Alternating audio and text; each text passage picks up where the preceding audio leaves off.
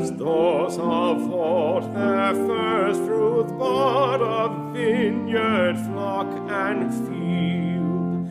To God the giver of all good, the source of bounteous yield. So we today our first fruits bring, the wealth of this good land,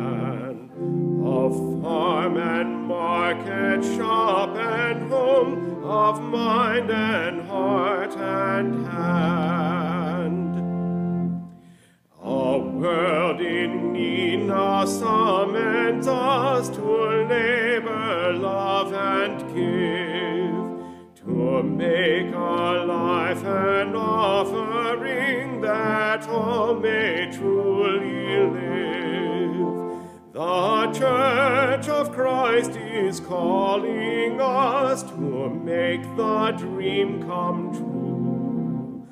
A world redeemed by Christ like love, a life in Christ made new. In gratitude and humble trust, we bring our best today serve your cause and share your love with all along life's way. To a God who gave yourself to us in Jesus Christ your Son.